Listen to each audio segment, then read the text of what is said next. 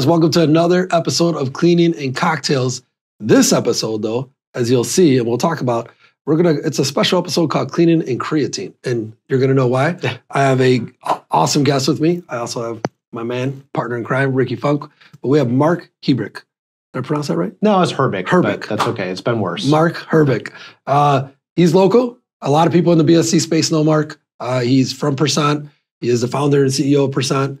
Uh, but he's also comes from the BSC space, and we're going to get into all that. We're going to get into a lot of cool things, why we're drinking creatine and things like that, right? Uh, but here, cheers. Cheers. Good being with you guys. Thank you for coming on, Mark. I appreciate it. Let me see how this tastes. Let's see. I worked on this recipe for hours, so it should be awesome. And it's not all creatine, just saying. that's that's you'd what my out- wife. you'd that- be bouncing off the walls. That's what my wife wants me to make. She gets mad. I was telling you earlier. She's like, Rick, put some love. you, I, I put water, creatine powder, and protein powder. She's That's like, what is that?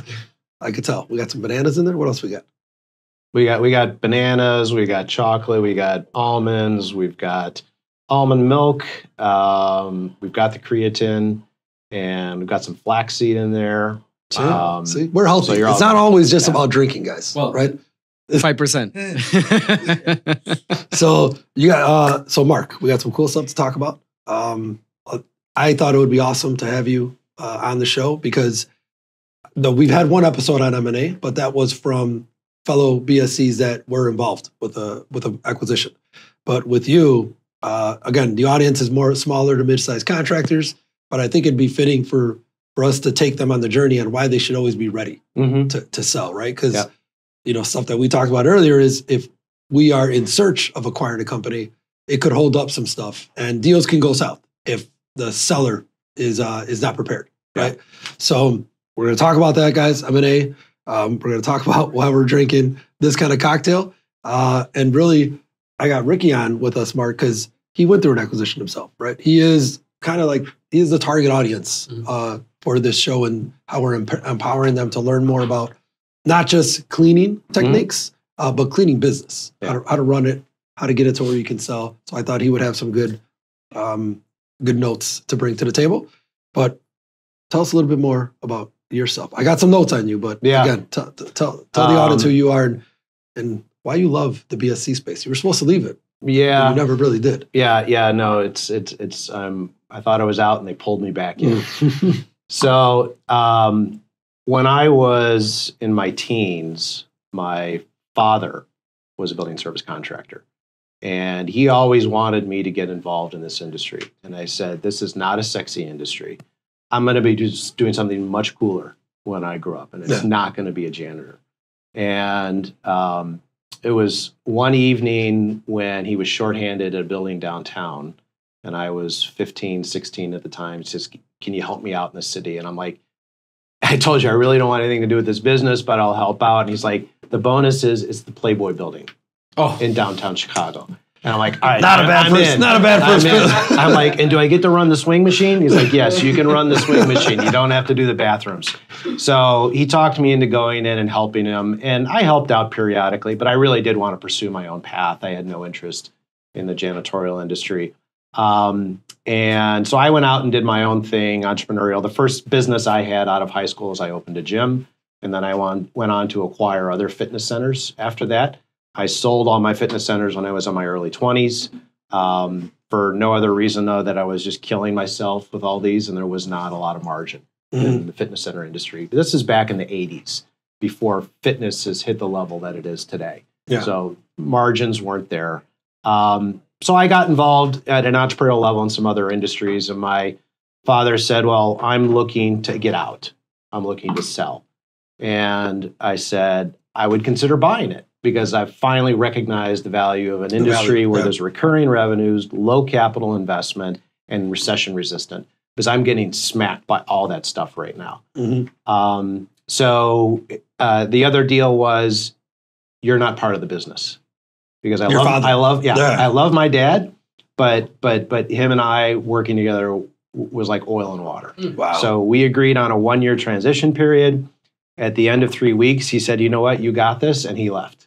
And I'm like, wait, Oh, One wait, year to three wait, weeks. I needed a year. Good He's luck. like, no, no, you're you're a smart kid. You got this. Those are your first. So I made a shit ton of experience with it. mistakes, you know, the first year. Uh, but I went on to acquire about a half a dozen other facility maintenance companies after that. I got involved in some other adjacent industries, some other services. Um, 2002, somebody came along, you know, right place, right time, right deal, and offered to buy a group of my companies. Uh, so I divested about half of the businesses that I had in 2002, and then uh, proceeded to really reinvest all that into growing the remaining platforms. And then in 2007, it was the same. I, I- I it was it was the right place, right time for sure. But it was also it was essentially me waking up and saying, you know what, I want to do something different now. Yeah. You know, this industry is a 24 7 grind. During the day, you are game on with your clients and your management and your leadership. And at night, all the work's being done. Yeah. And I couldn't sleep well at night knowing that I knowing that I had 1500 employees running around doing work on my behalf. Mhm. So they were not restful nights Mm. um, because my conscience, you know, kind of kept me awake. Yeah. And, you know, after a total of about 15 years of that, I said, you know what, it's been a great run, but I'm out and this is a great opportunity for me to exit. So I just decided to do that. Um, But you exited to then. well, so in the early there. 2000s, I had become a member of an organization called YPO, the Young Presidents Organization, and my relationships essentially became middle market CEOs of companies. And they grew to kind of know me as a deal guy. So they would call me to help them get their deals done, whether it be make an So- acquisition, do a sale, raise some capital. So I did that as a favor. So when you so did you have experience? You were doing this hands on yourself Yes. when you first acquired, Right. when you were acquiring for your your current right. B, or your BSC. No experience. You just you learned the craft yourself. Yeah, I was OJT. Okay. Yeah. That's it. So, um, I mean, I was going to school at the time as well, but but not. You don't go to school for M and A. There. You know, you go to school for finance, accounting, and you know, general business skills. But um, so I had help, started helping other people do M and A just as a favor, and then when I exited, the phone kept ringing, and and it was BSCs and a lot of other middle market CEOs as well. Say, hey, I know you're not an operator anymore. Can you help me with my deal? And I said, yes. I'm gonna have to start charging you now, though. yeah. Uh, was I'm going to start a firm and I'm going to build a team and it's all going to be a blast. So fast forward to today, started the firm in 2010. Uh, so we're now 13 years into this. Um, we work on about 50 to 60 transactions a year, variety of different industries. Um, our single largest sector is the building maintenance sector. Um, I get involved in all those deals just because of my institutional knowledge about the industry yeah. um, and my sick passion for it. You know, anybody that's passionate about this industry has something a little bit off about them because you know, chances are if your phone rings in this industry, it's not a good thing. Yeah. Oh yeah. It- I got those it- calls. It's a problem, and chances are one of your people created it. yeah. You know, so and and, and that's okay. I mean, it kind of is what it is. It is what it is. Um, so you develop, you know, a sick passion, you know, Yeah. for the industry. But I feel like uh, that that's got to be a strong competitive advantage for you, right? The, the value add that you bring because you you are familiar with when being a BSC. Yeah, absolutely. you know? When Ricky's going through a deal, whether he's looking to buy or sell or you, um, I, I have the skills of, an M&A advisor and an investment banker, but I also have the emotional mindset of the buyer and the seller. Mhm. Because for a seller, you know, they say, oh, this is just business. That's bullshit. If you're a seller, selling your business is personal. Yeah. Mhm. If you're a buyer, it's all business. Yeah. There's no emotional attachment to this thing. Yeah, It's- it's- this it's is somebody yours. else's kid. Somebody it's not your kid. kid. That's your baby. It- yeah, and and I mean, it, it's there's there's just no passion there. Um, so you you're a lot of buyers stomp around very in a very insensitive manner, thinking that this is just business for the seller, just like it's just business for me, and it's not. No. So uh, I can identify with the emotional roller coaster that a seller is on because I've been on it, and I can identify with the business decisions that a buyer is making because I've been in that seat as well. Yeah. See, I mean, that's that's that's key. Like on both sides, so you know, like the emotions for somebody to sell their business, it's got to be, uh, you know, for again, this is why the purpose I wanted to have you on here too, Mark, is for those that are are. Well, you said it earlier. You should always be thinking. Of this, right? What did you say? There's only two. Well, outs, like we were right? talking There's two earlier, or three outs. There's, there- there's there's two. There's really three outs in this industry. Out number one is you leave it to your kids. Statistically, when I say statistically, less than ten percent of children now go into the family business. It's not like it was when our when when our parents were kids, where it's Mhm. like, no, you will go into the family business. Yeah. And if you think of doing otherwise, like you're going to school. you're not to- coming over for come- holidays yeah. anymore. Yeah. so, uh, but nowadays, not only do kids not want to come into legacy family businesses, parents are encouraging their kids to go do something else. Mm. So, um, so th- that kind of succession planning is is it- it's certainly an option, but it's a long shot. It's a long shot. Um, the other way out is uh, you just die, and Like, you, you've now saddled your com- your family with this company in this industry that you had a sick passion for that they probably don't. So you're not doing them a favor. Uh, the wise option is to sell it. So I always think of it as it's not a matter of if you're going to sell; it's just a matter of when. And most of the people that we meet that are ready to sell, they may be ready to sell, but their business is not. Mm. Uh, they just wake up and say, you know what, Uncle, I've had enough. Yeah. I'm out. And they expect that that'd be like waking up Saturday morning saying, I'm going to sell my house and I'm going to put it on the market today. Yeah. The realtor's going to walk in and says, No, you're not. Yeah. Fix You that. got- touch that. You move got that. purple carpet, you've Yep. got pink walls, you've got this, that, and the other is wrong with it. You're gonna have to put a lot of time and effort into making that house ready. You can probably nail that in a few months. Okay. It's different than a business. It's you're gonna need more than a few months of planning to really prepare for the best liquidity event of your life. Um, So, so Can what are those yeah. steps? That's yeah. well, What are know, the top two, top three things The- the- that a, a seller should be looking at within their business? Well, certainly you should be looking at the financial profile of your business because a buyer is buying your business because of what they can do with your cash flow and build on that. Mhm. So making sure that your financial house in order um, is is is paramount. The second thing they're going to be looking at it's not necessarily you know in this order. These are equally important. Is your management and leadership team. This is not a business of equipment. This is a business of people. Oh yeah. And last time I checked, there's a shortage of people in this industry, especially really good ones. Mm-hmm. If you're looking for a pulse and a social security number, they're out there.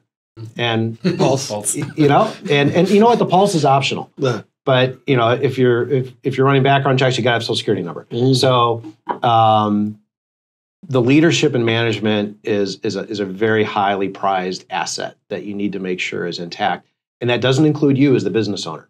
The worst employee for a buyer is the business owner. Mhm. There's a reason you own a business. It's probably because you're a terrible employee. But I, I would be. Yeah. I mean, I, I, I was working on the business, have, working, have, on, mer- another- mercy working on on another anybody company. that would hire me. it just, I would just not. Plus, the owner is leaving usually. you yes. well, yeah, other- we had talked about that too. Yeah, that's the other thing. Nine out of 10 people that leave a janitorial business are leaving because they're either burnt out or They're retiring. they're retiring. Yeah. That is not the ideal employee. Mhm. If somebody walked in your door right now and said, "I'm really burnt out and I don't want to work anymore. Will you hire me?" That's that's that's not a good No, thing. Or if they say, "I'm a year out from retirement. Will you hire me?" Again, the answer is no. So for a buyer, uh, they're generally not going to get the the uh, the benefit of having the owner stick around. And there are some business owners that are delusional that think they do want to continue to work for another three to five years, and they're going to be an awesome leadership member on the team. Most of them are wrong. They figure out that I don't do well working for somebody else. So I hear that a lot. um, Yeah. But um, but there are the exceptions. I know a number of people in this industry that have sold their business to their buyer, and they're very happy. So that's the exception. yeah, That's the exception. But it's And out there. and it's so the financials is important. The Leadership and Leadership. management is important. Your underlying customer sector. You could put two companies side by side making the same amount of money, but one company is servicing healthcare technology and industrial. The other company is servicing retail and malls, making the same amount of money. W- one company is worth much Yeah, more because than the, other, client- even though the the, cash flow is the same. Mm, So it's it's taking a hard look at your customer base, Is it a growing sector, a declining sector, or a mature sector? So office space is mature, which means it's not bad, but it's not great. Mm. So uh, ideally, you look at a, your, your customer sector many years in advance of a sale and say, I need to pivot. I need to be moving my customer concentration over to growing sectors. And that's not only going to help my growth, but it's going to make my business more valuable. So, what's Um, an example of a growing sector? Uh, uh, you know, really where we see new infrastructure coming out of the ground. So think about healthcare environments, think about higher ed, um, think about manufacturing, industrial. Uh, those are all sectors that are growing at at kind of mid to high single digit percentages Okay. every year, as opposed to kind of flat or two percent growth. Now, uh, again, this is doesn't have to be uh, exact, but is there a good percentage that that you would have of different sectors? Like, for example, twenty five percent healthcare, twenty percent industrial. Like, what's a good balance for people to be thinking about? Because again, it doesn't have to be today, but they could work towards that, right? Yeah, I guess I wouldn't be too concerned about the um, uh, about the mix. I mean, Okay. because there's also value in a company that specializes in something. So you know what? All we do is medical space, or all we do is clean room type space. Or like senior Um, care living, right? I know some companies that they focus right. on senior so care. there, there's value to that specialization. So you, you you don't have diversified customer bases, which is different than having a diversified number of customers. Um, which is which is one of the other things you know as it relates to not just the industry that you're servicing, but how many customers represent double digit percentages of your revenue. Okay. Every time you got a customer that's 10% or more of revenue, that's a strike against you, not for you. It's it's a problem because Oh, then wow. if that customer goes, Oh. then ten percent of your business every goes. customer that you've got that's like one tenth of a percent of revenue, that's a strike against you too. Nobody wants to buy a, a five million dollar company that has five hundred customers. yeah, That's a lot less interesting than a five uh, million dollar company that has 50. 50 customers. 50 customers. Yeah. Yeah. Okay. You don't want anybody keeping you awake, but you don't want customers that are like, oh gosh, that customer's calling. We make no money off that customer. They're more needy than my my million dollar customer because that's the way it plays out. Makes sense. So just to piggyback on on emotion, uh, when you said that, I, I connected because I said no to a buyer just because I, I thought that buyer was gonna mess up my business, even though there's it was not gonna be my business anymore. Uh, I, I said no. I was lucky to have three, four buyers that I interview with, so I could pick and choose. But uh, and maybe it was just a little bit tiny more money. But I said no. I, I don't want you to kill my baby, you know, in the future. So I, yeah, that's a really important thing. And same thing with numbers. So I, I went through a broker, and man, I was not ready with numbers. So it was a lot of work that I had to put in place just to be ready for a sale. Um, I kind of, yeah, I, I felt connected with that. So I wanted to take, I want to pivot the conversation a little Okay. bit because Big Dom gave me some great notes here. But let's get back to the cocktail real right. quick because, as you can see, Mark is a fit guy here. Mm-hmm. you were talking about gyms, and I, I, I was gonna, I, w- I wanted to let you finish your thought. But so you first started with gyms. Right. You're, we're, you know, we're drinking a healthy drink. You're, you're in CrossFit, or you're always preparing and training for CrossFit. Could you? How has that helped you as as a business owner, and then helping other business owners make some tough decisions Mhm. uh, and decision making? Right? It's is obviously fitness is a part of your life. You were you were buying gyms in your twenties, Yeah. and you're still a part of it. So why is it so near and dear to you? Um, Um, so, in, in- pretty much anything that I engage in, whether it be a professional, uh, we'll call it activity, or personal, um, I am at my best in if, if it's in a competitive situation. I I don't. I'm not really half into anything. Um, I'm either all in or I'm all out. And what gets me all in is if there's a competitive situation doesn't mean it's necessarily I got to destroy the other person type of thing, but it has to be a competitive situation. uh, And um, my first uh, experience with fitness was as a teenage bodybuilder. And I moved on to try a variety of different fitness paths after that for my own personal passion. When CrossFit came on the scene um, back in in the when you own your gyms, I mean, CrossFit wasn't around. didn't exist. Didn't Yeah, exist. CrossFit's only been around for you know, like 12, 15 years. Okay. Wow, Um, that's 12, 15 years. Oh Yeah. wow. So when CrossFit came on the scene, I remember watching it on on, on TV, and I'm watching these people, and I'm like, they're running, they're doing deadlifts, and they're doing pull-ups, and then And it looks- you know, and then they're swimming. This is crazy. Yeah. This is a mess. It looks ridiculous. And like you see them doing it, and you're just like, and all that, your translated good for your into this looks awesome. Oh. Um, because I Did was you see it as a challenge at first though? Because you Uh, just oh yeah, absolutely. Okay. I mean, when when uh, I was always in, in pursuit of a sport that was going to lend itself to my body composition. I was not, you know, I wasn't going to be the most muscular guy. So I, you know, I wasn't going to be a power lifter. I was never going to be the smallest, you know, thinnest person. So I was never going to be the fastest runner. Mhm. Uh, what I needed was a sport that really played best to somebody that was very chameleon like, that can move from strength to conditioning to gymnastics and be really good at all of them. Uh, so that was one of the things that was appealing about the sport because of because of my body composition. So um, you know, I called two CrossFit gyms uh, by me, you know, here in the Chicago suburbs. I left a message at both of them, and I said the first one that calls me back is where I'm going to go. That's where I'm gonna go. And uh, one in Libertyville called me back, CrossFit Freedom. And the guy answered the phone. I answered the phone, and he said, "What do you want to do?" I said, "Well, I want to compete at the CrossFit Games." So He probably hears that all the time. Yeah, he says, "Yeah, He's like, yeah, right, whatever." But the, the CrossFit Games is where the top ten to twenty people in the world, out of thousands, would advance and hope to advance to get to the games. I said, I want to compete at the CrossFit Games, and uh, that's the only reason why I'm doing this. I'm not doing this for my health. yeah. I, I can work out at home Yeah. for my health. I need somebody to get me to the CrossFit Games. So he said, fine. I said, I got a great foundation of fitness. I'm strong. I got a. So I started doing CrossFit, and within a month, I was just destroyed. Wow. I was humbled. Yeah. Um, That's what I'm saying. It's got to be a humbling it was- experience. I was humbled. I was shit. And so I dedicated the next two, three years to being the best I possibly could at every single movement in CrossFit.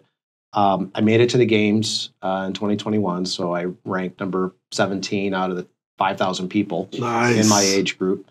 And I've continually remained in the anywhere in the between the top 20 to 50 people in the world um, in CrossFit. And just to give you a frame of reference, the difference between whoever is number 20 and number 50 is, you know, just watch the Olympics. The person that finishes in first place versus last place in Yeah, the race, like it's, it's a a far apart. so, uh, so I, what I'm saying is, I got a ton of respect for anybody that's in the top 100 yeah. um, because they're right there. They're And- they're right there. And we were talking about this, like, uh, you you're on all the time. Well, Right, like, like this one, right now, when we leave this interview, I'm going to do a qualifier event to compete at a North American competition, and that goes off at one o'clock today. So I'm not going to be at my best if I've got a martini in me Yes. um, in advance of that. We're not drinking. So that's why we're doing some protein and creatine. Yes. We're not doing a cocktail. So I got to believe that you know because you, hear it all the time, right? I you know I talk about mindset all the time. Do you feel that this helps you uh, from like to turn on the business mindset? Oh, yeah, the- so this is my uh, so fitness is my outlet. I mean, as you can imagine, I'm saddled with a lot of responsibility in our role as Mhm. investment bankers and M&A advisors. We get involved in transactions that are generally the largest spend or or largest liquidity event of anybody's of life. anybody's life. Yeah. And that is a personal responsibility as much as it is is a business responsibility that weighs on me. And uh, this is my outlet. So two hours a day uh, is my commitment off season, and and that resets me and allows me to perform at an optimal level professionally. Nice. You see, I got these guys. We they went to their first. Uh, it was a circuit training. Uh, so I'm part of a gym in Glen Ellyn, and uh, I go. I work out 2 Mhm. three times a week, and I just love what it does for me. So I invited the team to come, and uh, Big Dom almost fainted. But uh, like, did you guys? Did you appreciate that? Fir- First day, I almost. Well, you up. almost threw up. But like, So- how, how- you guys went two times now. So how, how was No, this? I mean, I mean, it makes a huge difference. I know I might look like I'm a gym guy because my No. physique, but no, it's a trick. So, so no, I, I, I, I can tell the difference when you work out. Like briefly, you know, I used to play soccer, so when you feel good physically, like fitness wise, man, like Yeah. you have more energy. You just want to It kill kickstarts it. the day. Oh, Yeah. yeah. But you don't stop there. You also climbed mountains, right? Oh, yeah, like I said, I don't do anything half fit. So um, I used to be a mountain climber. I used to be a kickboxer. I used to Oh, be wow. uh, taekwondo fighter. Um, I was kind of like Goldilocks, wandering around from from sport to sport and activity to activity until I found something that was just right. Um, and um, yeah, I, I, guess if you type in my name on Google, you find anything I've ever done because it's always, for better or worse, made it onto Google. There you go. but I, I mean, you gotta you gotta appreciate that. Like it's just again, like you're always on, but it it just you could see that reflects with on you with business too. People right? say, I mean, "How do you relax and, and unwind?" from what you're doing? but doing. That is relaxing. That's what right? it is. Yeah. Mm-hmm. I wouldn't know what just chilling means. Uh, that's not that's not an escape for me. That builds anxiety for me to yeah. to do nothing. It builds anxiety for me. See, for for me, instead of doing all that, I just deal with my three year old. Uh, you know, it's almost about the same. So another thing I want to talk about is because I think we have we have some synergies in that I didn't realize, so I just reference is uh, Inc. Five Thousand. So you made to Inc. Five Thousand as uh, Pursant, or did you get? No, that, that, that was previous That was Capital Cleaning. Capital Cleaning. So one of my one of my companies, we were number one twenty one out of five hundred. Um, back you got to think about it. not many cleaning companies back, make way back when make that. So well, uh, yeah, not not many people make it, and and it's um, and if you're going to make it, it's generally going to happen in the earlier years of your business, just because that's when it's easier to pull off that 100, 200, oh, yeah. 300 percent growth. growth. Yep. But you know, there's yeah, that as you get bigger, it just gets tougher and tougher. So, Ricky, let's pivot over to you now. Um, your acquisition. Mm-hmm. You want to share a little bit of your experience yeah. for again? We want people as you're listening to everybody too, like be thinking about you. You should have taken some notes on what Mark was saying earlier, um, creating that hit list of what mm-hmm. what we have in preparation. Could you say that you had those things in order? No. so so that so there's I would say there's a lot of people that want to pivot from residential to commercial cleaning and they're always thinking about you know should we sell the residential should we uh, just do both residential and commercial i i chose to sell my residential business and then move into commercial now what you said yeah uh, be ready with your numbers uh, management plays a big role i wasn't ready with the numbers so i had to like do a lot of work so what could you say to those people to like be ready if they want to sell a year from now you know, th- th- it's a possibility. What can they do to like be ready? I would encourage. Uh, so again, let's go back to the house example. Mm-hmm. If you wanted to sell your house, one of the first things you do is you call in a few realtors, and you would ask them to assess. Know, what do you, what do you think? You know, my home is worth. What what do you think I should uh, do to it to make it more appealing to the marketplace? And they will tell you this is a uh, this is an attractor and this is a detractor. And the same thing goes for thinking about an exit in your business, call in investment bankers or business brokers. The difference between a business broker is it's generally going to be a deal that's going to be either hundreds of thousands of dollars or a few million. Uh, investment bankers are generally working on deals that are kind of 10 million and up. They, but they both will have an eye that has been trained by the marketplace to see your business through, to say, this is what's going to be appealing about your business. This is what is going to be a detractor about the business. So they will give you the list of what you need to do. Mm. And then uh, you may or may not need to engage a third party to help you with some of those things. You're generally always going to want to engage a third party to help you with restructuring of, of financial reporting. Um, yeah, we report our financials to what we kind of want. Yeah. Yeah, it works for me to look at it like that. What, what do you expect it to pay? So for me, it was 10% with a business broker. I had to pay 10% of the sale to the business broker. Is that like uh, something average in the industry, or it's it could be all over? Uh, well, so that's where it's you differ range. than real estate because real estate is you know, it's kind of a, like a fixed fee. Yeah. Okay. But if you're if you're with a business broker, um, you know, business broker is going to work off of a higher percentage like that, maybe like 10% or a hundred thousand dollar minimum. If it's a smaller, thing, if it's a smaller deal, if it's a smaller yeah. deal, as the purchase price grows, the percentage is going to come down. So for a, will I'll use the term middle market company. For a middle market company, which is what investment bankers deal with, and a middle market company would have on the low end kind of 10 million in enterprise value or purchase price uh, and up to hundreds of millions uh, in value, you're dealing with low to mid single digits. Okay. So anywhere from 2% to 5 or 6%. And that scales according to the purchase price. The higher the purchase price, the lower the percentage. Right. Makes yeah. sense. No, I mean, again, you're paying for what you get too. Like we were, Absolutely. we were talking about how competitive it is. Like you know, you're here, right? We're we're talking on the Rosalato side, having good conversations on that. Where if you have a plan to st- strategically grow, uh, it's good to have somebody. Mhm. You know, for what, what what we talked about, like the time it would take for us to try to do that, the time it would take for us to go out there and like try to do this on our, on our own. Um, Yeah. You may think you can, right? Or again, a deal may fall on your lap. Like we had a great opportunity. It Right. presented itself, but that's especially in this market, that's probably not going to happen, right? That's Yeah. what we're, we were talking about earlier. What we do in our business consulting practice is we have, for example, a form of coaching that we do. Uh, it's not coaching in, in the traditional sense of, you know, hey, I'm having a bad day. Can we figure out how to get through this? Um, it is coaching in a sense of uh, really helping a business owner over a period of years optimize the performance of their business to a point where they can maximize value on an exit. So it, it does incorporate traditional coaching relationships whereby, you know, how are you managing your people? How are you managing your strategic plan? What are the some of the strategic decisions that you're making? Are you staying out of the weeds? But but it also incorporates the final destination. What do we want to have happen five years from now? Yeah. And that's our goal line that we're working towards, as opposed to uh, just talking once a month about whatever's going on at the time. Yeah. Where is all that taking us? So there, uh, and it's not a pitch for Pursant. There are firms out there that you can reach out to and say, I want to hire a coach that is going to help me maximize value Mm. over the course of the next three to five years, and is also going to help me deal with some of the drama that comes up in the interim and help me think about that the right Yeah. way. And that's uh and we'll we're gonna take a quick break, but I want to end on that point where he said coach and mentor, right? So you, you think about in our space too, in the cleaning space, there are more and more coaches and Mhm. mentors and education that's coming out. But I think a lot of those are for your for your business side, right? To ru- to help you manage business or get sales. Yeah.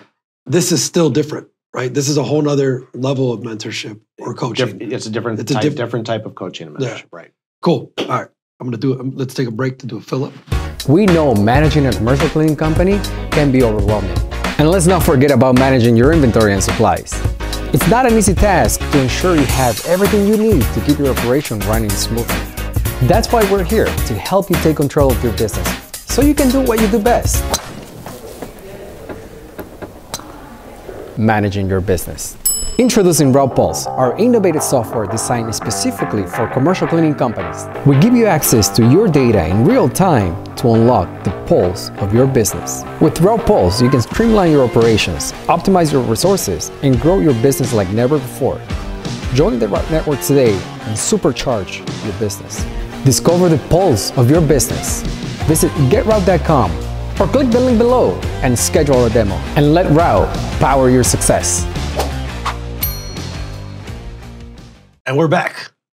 Let's continue that conversation right now. So, uh, we're, we're talking about the pace on climbing a mountain, Yes. right? So, Yeah. uh, go over that again real quick. So yeah so get- we were talking about climbing in the himalayas and you know the difference between climbing like um, mount everest which is about a three th- a three month you know commitment versus some of the other peaks which are nearby which are two to three thousand feet lower so 26 27000 feet. You can do that in about half the time. And you know part of that is weather on everest is very different so it throws a lot more into the time planning. Um, some of the technical aspects of Everest slow things down a lot. Um, whereas like Elbrus, where I climbed, um, there's not a lot of technical on that. What your your your major obstacle you're dealing with is just the elevation. the elevation. So the acclimatization to the altitude, um, it's it's two three weeks just to get to base camp, and it's not because it's so far. It's because you can't elevate more than a couple thousand feet a day. yeah. Otherwise, you just are going to expose yourself to high risk of altitude sickness. So, Mark, I because I like to tie the, tie things back to business all the time too. Is as I hear you talk and you're going through the different elements, right? Business, running a business. There's so many mm-hmm. different elements, but you you spoke on pace. Yeah. Do you, that could you could relate that to running a business, right? Like growing too fast versus growing, you know, at a pace that you can handle and, and have capacity for. Like, It, do you relate that? Is that like? Do you feel like it's the same kind of thing you can do? What Yeah, you, how yeah. you climb a mountain and Absolutely. you reach that point? If you grow, uh, a personal experience, Right. anytime we experienced a surge in growth, the organization would start to shake and shudder and things would fall off. it's like you're going too fast than what you're built to do. Mm. Um, so slow down, make the improvements in the organization that need to be made to support that new level of volume. And that's generally going to be people and processes. You're going to have to elevate what you have in terms of people, and you're going to have to improve your processes to accommodate the new volume and then grow. A lot of times you don't get that luxury. You know, a new customer calls up and says, says, good news, $10 million is coming your way, you know, Story starting next life. month. Let's do it. And, and, we have 52 and we're locations we gotta entrepreneurs. It's like, what could Shit. go wrong? So we take it on, and the organization starts to shake and shudder. And you know, even myself, you know, during that period of time, you know, you'd you'd pick up five million, you'd lose a million. You pick up eight million, you lose two million. Yeah. And you probably never would have lost that other revenue had you not taken on the new revenue Yeah. because your organization wasn't prepared to to to accommodate the new size and things got neglected, balls got dropped. Yeah. I mean, and but I, I got that. climbing the mountains the same way. Yeah. If you go up too fast, Like you said, you're gonna barf. you, you're, you're going to get sick. Yeah. and, and, and the only way you're going to fix that is you have to go back down, Oh, so that's and, and then your body's and your body adjusts. Oh. Then you can go back up. Ooh. And the same thing happens in business. Right. You know, you get humbled and you lose a bunch of revenue. And you're like, time out. Let's let's let's let's let's acclimate to where we're at and prepare for the for the for the next push. Mm. And climbing the mountains the same way. and, and usually that means people and process. Yeah. It, in in business, yes, and you know, in mountain climbing, it's it, it's building more red blood cells yeah. to carry more oxygen. Wow. Now, I mean, you could say building technology is the same thing, right? You build too much, Yeah, you can break, you break, Been right? there, Been there, done that. So- Speaking on technology, uh, Mark, how important do you think? Obviously, the space is getting very innovative. A Mhm. lot of innovation is coming, right? We're building technology ourselves. How important do you think, or how important is innovation and the technology companies are using when they're going to either sell or when a buyer's coming in? Is it an important component now, or are you seeing it? Yeah, so I guess the first thing I have to do, to do is define important, Okay. and also say, well, does it mean I'm going to sell for more? Am I more valuable because of the technology I have in the business? Okay. So um, the the answer to that is uh, so. So first of all, yes, technology is important because it's more you can tech enable your business, the better. Okay. Because that should ultimately reduce headcount, improve productivity. That better result in better margins. Otherwise, like, why are you doing Why that? are you doing it? It, Yeah. it all comes So- down to numbers. It all comes down to Yeah. margins. So, you know, like we've got a client that we're working with. We've worked with them for many years, uh, much like in the capacity I was telling you about, where we're kind of like their coach. Mhm. We get involved in different engagements with them and we're advising them to really have an optimal outcome. Uh, This is probably one of the most tech heavy BSC companies I've ever seen. It's cool as shit Yeah. that what they're doing with it. But it's yet to be seen whether their margins are going to ultimately be superior to the industry norm or their competitors. Mm. Unless their margins are materially better than the other competitors that are tech light, it means absolutely It won't, it won't mean Right. It means nothing. It's just their preference. I, and I, Right? I And shouldn't say it means nothing. Somebody could doesn't see have a that, big could- Somebody could see that technology and say, you know what, this company's margins aren't any more superior than anybody else, but this technology I could redeploy Yeah. into one of my other businesses that is absent technology. So there's value in that. Yeah, there's so that's value- part of where due play. diligence on your buyers Yeah. comes into play. Say, why is this company interesting to this buyer? And if they tell you it's because your technology is very valuable in some of our other assets, now you've got a position where you can monetize that technology edge. Otherwise, you're you're just going to look cooler. You're not going to be worth anymore. Damn it! no. So, uh, Sound like Kevin O'Leary. It's all about cash flow. I know. I love Kevin. O'Leary. so let- let's let's uh let's go back. Or I- I'm going to take you back to your first couple of years. Um, for those people that are, you know, I think the first three years are the toughest. Yeah. They, they were the toughest for me opening, owning the cleaning company. Yeah. I was always uh, doubting that, you know, why did I get into this space? Yeah. What would you, what would you tell people that are in their first three years, uh, their first year? Uh, you know, they're, they're probably, they're in the business, they're probably cleaning, right? Yep. Any advice or shared experience for them? Yeah, absolutely. To get them pushed that through? you know, for me, um, the the transition from being a handful of a million, few million dollars in revenue to busting through kind of what I call the $5 million ceiling and then beyond 10, 15, 20, so on and so forth. Um, the, the difference is the ability to achieve success through others rather than yourself. If you've got a one, two, three million dollar company, But it's all you, you could literally do it all. You could be the salesperson, you could be top ops Yeah. person. Hell, you could even be cleaning toilets at night. And I know that because I did all three things during the, those early early years. And but my mission was to hire people that were better at what I did, and hire enough of them. Not only hire people that better at, at, doing what I was doing than I was, but also people that had already been where I wanted to go.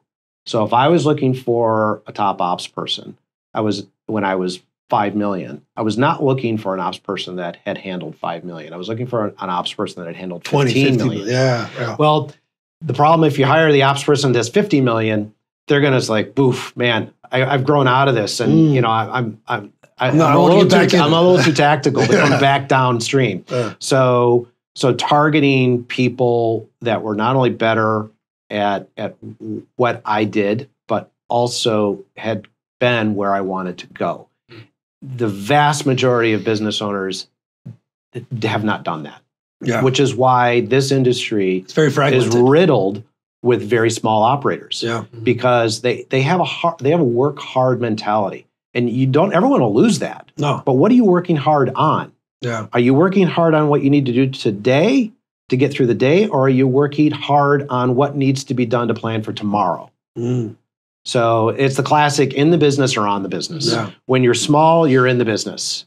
When you're larger, you're on the business. How do you make that migration? If you can make, as soon as you can make the migration from in to on, you've just busted through the ceiling and sky's the limit. I, th- I think it has to do a lot with education. Like people don't know this until they actually learn about this. Uh, yeah, and, and I wouldn't put education in, in the in the classical sense of college degrees. No, no, no, No, no, no. yeah. Meaning, on. meaning educated about that. Like yeah, some people don't know the difference between working in the business and on the business, and that what they can bring. and and just a level of comfort. Some people are just control freaks. Like, no, no, no, no, I got to do that. I got to do They this. I want to this. micromanage. And and you're gonna you got to lose that. You gotta Yeah. If you're gonna micromanage and you're gonna be a control freak, Mhm. you're never gonna build a scaled organization. I- I'm the king of delegation. Oh, you, yes, you are.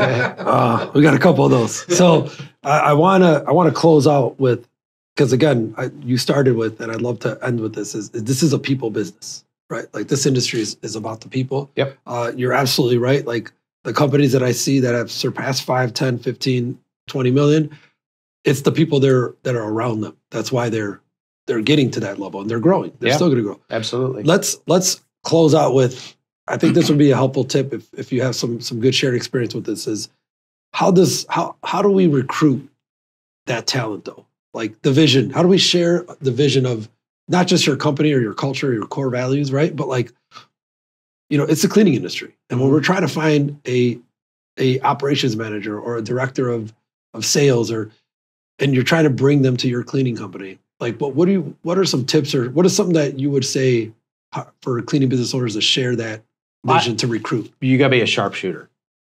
So a, a sharpshooter goes out and finds its targets and lasers in on them and nails them. And what I did as an operator is I made it my mission to go out and a identify the best companies. Who are the people that are killing it in this industry? You know, not maybe in terms of just growth, but just great cultures, great reputations, great reputations for execution, and then make it my mission to identify the people within the organization. So, who's their top ops people? Who's their top salespeople? Mm, and um, and then finding ways to intersect with them. Now, in the, early on, I didn't have the advantage of LinkedIn. I didn't even have the advantage of the internet back then. We got LinkedIn so now, yeah. It was called going to the BSCAI trade show Mm. and looking at name badges and going to all the. the- None of my the- team is the- allowed to the- go to more the- NBSCI. yeah, it's- it's- well, they're they're. Tar- I mean, if, if I was there, yeah, they're targets. You know, and going to the 3M cocktail receptions and and and just rubbing elbows with the people that uh, you really kind of look at and admire and say, man, Yeah. if I could afford an ops person like that, Yeah. then that'd be my the best Christmas gift. So it should Yeah. be easier now with Absolutely, technology, absolutely. social media. I mean, uh, recruiting through uh, just yeah, r- whether it be LinkedIn or, or, or whatever, just call call it the web. But like you said, sharpshooter. Like it, Yeah, it's you- our job. So if you're able, if you're getting to that point, you're probably working on the business, right? That is something to be working on, right? Yeah. Like I feel like I, I, I sometimes am a recruiter for for our for all of our brands because I want to build a team. I'm always wanting to Uh, build a better and bigger team. Yeah, a, a third of your time should be spent building building your talent. Yeah. Period. Third of your time. That's a great point. So yeah. Liz, you got work to do. Yeah. We'll talk to you, Liz. All right, because we have a There's a lot of smarter people out there than me than that that will, Ugh. that that know that formula. But a third of your time needs to be spent recruiting top talent. Awesome, man. Well, uh, Mark, anything you want to leave us with? Any last words of advice or Uh, wisdom? no, just a compliment. I love what you're doing. Uh, I wish I would have had the advantage of something like this back when I was an operator uh, to see what was going on in the heads of of my industry peers. Mm. Um, and you know, you you make it fun, you make it interesting, uh, you make it intoxicating at times. Um, You- why are you looking so- at me? yeah, I think it's, what was it, um, 11, 12 o'clock today? yeah, it's it's five o'clock somewhere. Um, so, but no, I love what you're doing, and uh, looking forward to seeing more of your episodes. Awesome. Well, thank you, Mark. I appreciate it. Let's do a fist bump, fist bump. All right, guys. Thank you, guys. I appreciate you guys for tuning in. Uh, again, a lot of nuggets here, guys. Mark, I know you'll probably be okay with this. We're gonna share your information to everybody Yeah, online. If you guys have any questions on M and A, uh, business, coaching, or if you just want to understand. talk. Talk. That's what I'm saying. Like, There's no charge for a conversation. having a good conversation. Uh, Yeah. Mark, it was insightful. Uh, again, you dropped some nuggets. I hope everybody else can take advantage. Um, I'll see you at the shows, Yeah. as we always do. Absolutely. Um, and I'll save you a seat in the front row. there you go. Until next time, guys. Thank you. I appreciate it. Uh, and we'll see you in the next episode.